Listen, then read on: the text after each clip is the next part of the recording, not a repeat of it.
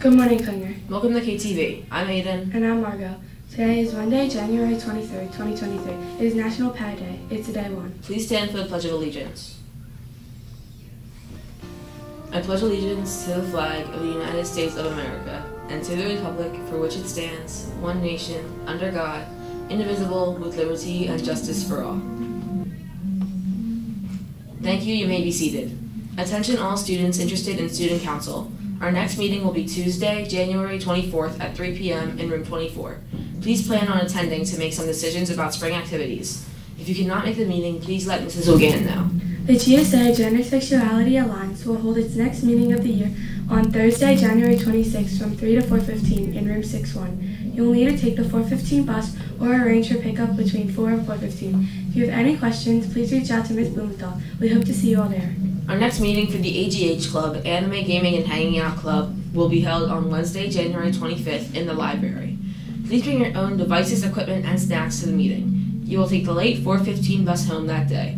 If you already turned in a permission form, you do not need to hand in another one. If this is your first meeting, you will need to hand in a permission form. Please get one from Mrs. Warren floating around the Klinger hallways. Looking forward to seeing all of you then. Sixth grade baking club will be this Wednesday, January 25th. This was rescheduled from January 4th, so if you paid for that day, you are good to go. Keep in mind, we will have another 6th grade baking club on Wednesday, February 1st. Make sure you get your money in as soon as possible. 6th grade stage crew. You should report on Monday, January 30th. If you have any questions, please see one of the directors. Now to Bailey with today's sports news.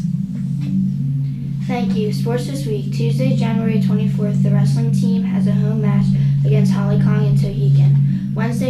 January 25th, the boys basketball team travels to Tamanend for an away game. Thursday, January 26th, our wrestlers are home to take on Lenape. That was today's sports news. Back to you.